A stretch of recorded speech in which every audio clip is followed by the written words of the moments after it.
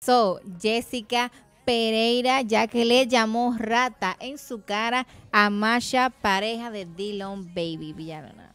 Sin duda lo que ha estado sonando en este día, lunes, eh, miércoles, ay Dios mío, es esta entrevista que le hizo la comunicadora Jessica Pereira, en la cual le dijo rata humana a la pareja del urbano Dylan Baby, conocida como Masha. Todo esto por decir, recordamos aquel caso, que se iba a realizar un aborto porque supuestamente pues Dylan Baby no iba a reconocer el hijo que ella tenía porque supuestamente estaba, eh, estaba, embarazada, pero que al final de cuentas todo se trató de un sonido para una canción. Vamos a verlo. Venga, ahí pudimos ver el momento en el cual Jessica se refiere a ella como que ella es una rata como persona, el ella haber hecho eso. Eh, tal vez las palabras se escuchen fuerte, pero realmente vivimos en una época, en un mundo donde la gente quiere decir la cosa así llano para que la entienda. Y yo después de casi dar grito estaba defendiendo, diciéndole de todo. Yo creo que está bien merecido porque, y luego también que yo me detuve a ver la entrevista que le hizo a los que ella ya dijo, está bien merecido porque ella no está bien de la cabeza. Entonces, ¿Qué pasa? Jessica eh, dio un punto muy clave, es que es cierto, hay muchísimas eh, mujeres que quieren ser madres, no pueden, entonces que personas relajen con ese tipo de cosas, más madres que se identifican con otras, de que también han perdido un bebé o no lo quieren tener, lo que sea, y que ya relaje con eso y con ella decir luego después, no, porque después yo me arrepentí, pedí perdón y qué sé yo qué, qué sé yo cuánto, no es excusa y no justifica. El que realmente lo siente y se arrepiente o no quería hacerlo, no lo hace desde un principio. Eh, a pesar de que la palabra rata se escuche fuerte, no es ni uno ni dos ni tres las veces que hemos visto comunicadores en medio de comunicación donde la llaman de una manera a un artista, a una personalidad, cuando comete errores y cosas en su vida que son bastante graves, que no se deben de aplaudir, ni se deben dejar pasar, ni celebrárselo como si fuera un chiste. Y más que Jessica, como pudieron escuchar, se sintió eh, molesta, incómoda, identificada porque ella no pudo tener la bendición, como ella mencionaba, de ser mamá y se siente mal porque ella pasó por un proceso de que no puede tenerlo, entonces eh, se identifica con más madres y que esta muchacha se lo tome como un relajo, el poner esos tipos de temas que muchas mujeres sufren sobre la mesa y en el ojo público es bastante de mal gusto. De mi parte, tal vez no tan fuerte la palabra, pero está bien merecido que se lo digan porque la gente ahora hay que hablarle cruelmente, porque vivimos una, en una época de cristal, que todos los muchachos, ay, que no lo puede decir así, que se rompe, y a unos chiquitos le decían de esto, además que uno se va a estamos toditos igualitos. Entonces, eso es lo que falta un poquito de mano dura y concientización a ese tipo de personas como Masha de que no todo se celebra, no con todo se juega. Y creo que tal vez el coraje, que hablamos también, eh, yo creo que fue ella que mencionó cuando pasó ese problema, esa polémica, que Jessica la llamó por teléfono y toda esa cosa. Entonces Jessica como que gastar saliva para ayudarle, explicar la cosa. Entonces todo ese remordimiento, toda esa frustración, ese pique, como decimos coloquialmente, pues Jessica se la dejó caer, como decimos eh, coloquialmente, y le dijo, tú eres una rata humana, porque eso tú lo estás celebrando, lo estás promulgando, no hiciste enganchar todito en esa ola a muchas mujeres identificadas, eh, yo misma persona del medio, entonces te cogimos pena pensando que era realidad, entonces tú saliste riéndote y que eso no pasó. Por eso fue el enfado de Ezequiel, por eso esa palabra. Esa es mi opinión. Bueno, lo que yo opino es que si tú vas a maltratar a un entrevistado, no importa que sea el más malo del mundo, tú no puedes invitarlo. Entonces, porque tú vienes siendo una rata también, que le da la oportunidad a esa persona de, que se, o sea, de expandirse, de que la rata se multiplique. Porque yo te apuesto que habían seguidores de, Jessica que no conocían a esta muchacha y la conocen ahora porque tú la entrevistaste. Pienso que eso estuvo mal de parte de Jessica. Porque usted sabe lo, usted sabe lo que ella es antes de. ¿Tú ves? Entonces, tú vienes, quieres sonar entrevistándola y viene y lo ofende también. Yo no voy con eso. Si una gente a mí no me cae bien o, es una escoria en la sociedad, en el mundo, y viene y lo entrevistan aquí, yo me paro y no soy parte de la entrevista en el momento. Dejo que ustedes la hagan la entrevista. En caso de, ¿me entienden? O si lo entrevisto, tiene que ser bajo un guion de que yo no me involucre, o sea, que el programa no sea mío. ¿Tú me entiendes?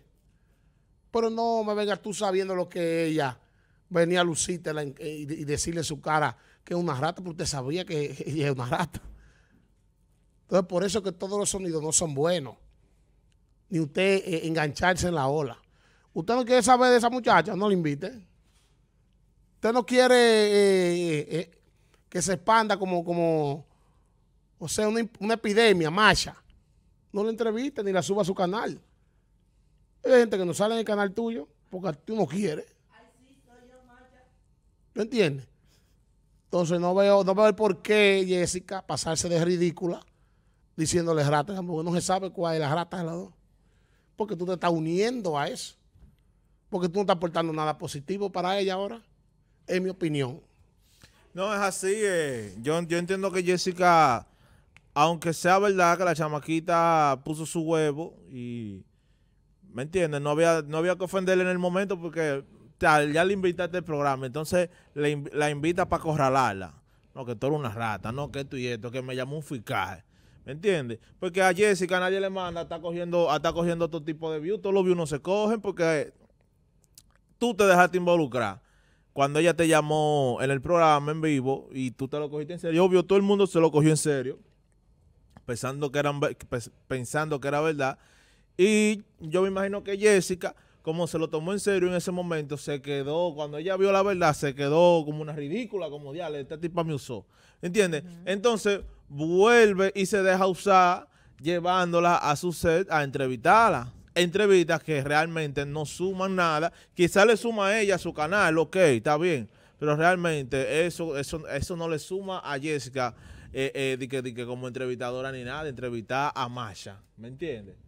Una, una Pokémon desbloqueada por Dylan Baby. ¿Entiendes? O eh, eh, entonces no, no. Yo creo que Jessica, como figura pública y con el- como lo que ella era cuando ella llegó aquí a República Dominicana y en lo que se convirtió, creo que le está bajando. Ha, bajado de un nivel donde ella estaba, bajó, ha retrocedido muchísimo. O sea, en vez de ella escalar y, y, y, y pro- y- y progresar en, en- en su ámbito de verse más jerarca, ella lo que hizo fue que se, se degradó. ¿Me entiendes? Se puso que todo el mundo le puede llegar. ¿Me entiendes? Mira como cuando se sienta, y no, y no es por hablar de, de Santiago, ¿me entiendes? Porque, ok, el hombre lo ha hecho todo. Pero cuando un fenómeno de las redes sociales llega a donde a los foques, está que ni se lo cree. Dice, "Eh, pero el, el sueño mío era llegar aquí porque, porque no es todo el mundo que llega, no es todo el mundo que le dan la oportunidad de llegar. Tú tienes que ser, tú tienes que irte viral, eh, pero feo. Ahora, si te fuiste viral, fácilmente llega, llega el programa de a los foques, eso sí.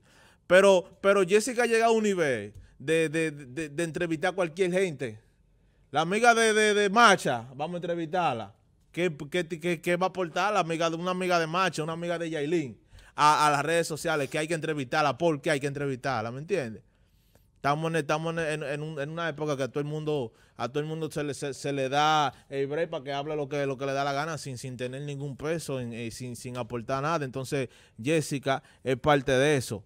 Luego de que ella fue una fenómeno de la televisión y de las redes sociales, una persona que se veía jerarca, que para tú llegar era una vaina, ya Jessica llega a cualquier Cualquierizada está. está muy cualquierizada, Jessica. Lamentablemente, eh, el punto que ella tiene. Cuando ella salió debió mantener ese No, debió, ese ese estatus, ese estatus, ese rating, ¿me entiendes? En vez de ya rebajarse, entrevistar a que a Macha y a, y a estos, y estos tigres y a estos tiktokers de las redes sociales, lo de ella era entrevistar gente ya jerarca. ¿Quién no le iba a dar una entrevista a Jessica de, de una gente importante, ¿me entiendes? Un artista un grande de cualquier país, de cualquier, de cualquier parte del mundo. No, ella decidió rebajarse, contrató un grupo loco, empezando por el Brian ese, que no, lo que para lo que sirve para reírse y se pone bravo si tú se lo dices. No, ¿cuál es ese? No, no, Brian es el otro de los pop, que eso, esos son, es- es- esa es la degradación más grande que tienen las redes sociales, esos tigres, mata lluvia, esos tigres, esos tigres no tienen nada que aportarle y están ahí, ¿entiendes? Ha reconocido, por favor, que es de nosotros reconocido, pero descansa ya, donde quiera que lo ve, lo graba, descansa. Si vuelve a ver otro video, voy a dejar de seguir reconocido, porque es que nada más, nada más a ellos que lo graban. Ya, ¿me entiendes? El otro MVP, Jessica y esa gente, ellos no tienen harto. Todos los meses hay dos y tres entrevistas de cada uno de ellos, nada más a ellos que la entrevista se, se, se cualquierizó. No, no se ve ya de que, de que no se ve bacano llegar de que el programa de Jessica. Llegué al programa de Jessica, tú ves que todo el mundo llegó, pro- llegué a los foques. Pero no nadie dice de que llegué, a, llegué al programa de Jessica. No, espérate, porque ahí llega todo el mundo, ¿me entiendes? Tú hay que se vaya a virar de una vez. llega. Entonces, Hasta tu amigo Luis, ni que una gente llegue, eso es ya No, por no, encima no. de, de, tan de- Blue de y Jessica es lo mismo. Ay, mi Están madre. cortados por la misma tela, muchachos. Yo, creo que, yo creo que llegar a la UCA es, es un logro más grande que llegar Ah, ah, a la cabina del, de Luini Sí, y de a- Jessica. ahí sí te la ahí doy. llega todo el mundo. Luini y Jessica, se cae una gente en la calle y, y- y se va a virar y mañana están en los dos programas. Cuéntame, ¿por qué te caíste? Está viral eso. A ellos lo que les interesa es eso. Que esté viral. ¿Me entiendes? Ya.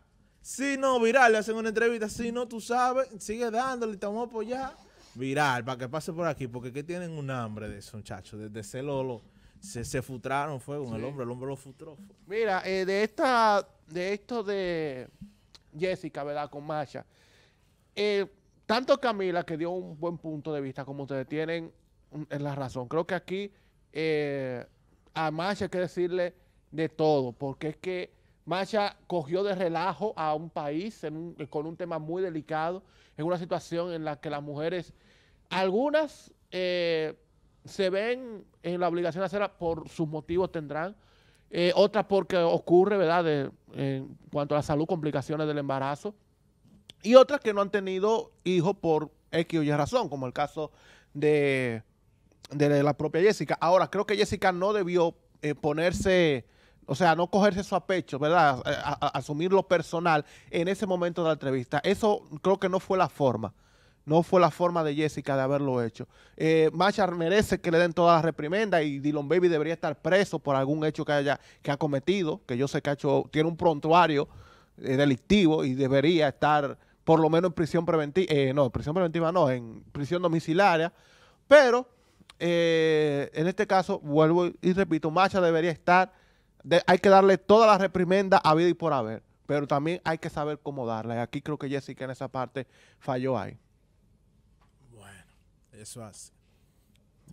Aquí, aquí a nivel de, de sociedad tiene que haber un régimen de consecuencias de parte de, de las autoridades, no que prohíban nada, porque eso es para YouTube y, y las redes sociales, sino un rechazo. Ah, usted es un tigre en, YouTube. Vamos a bloquearle todo, todo lo gubernamental del país. ¿Me entiendes? Para que la gente se aquiete. No, un régimen, está bien. Pero para que todos estos locos dejen de esos Pokémon, como dice ella, dejen de estar fluyendo.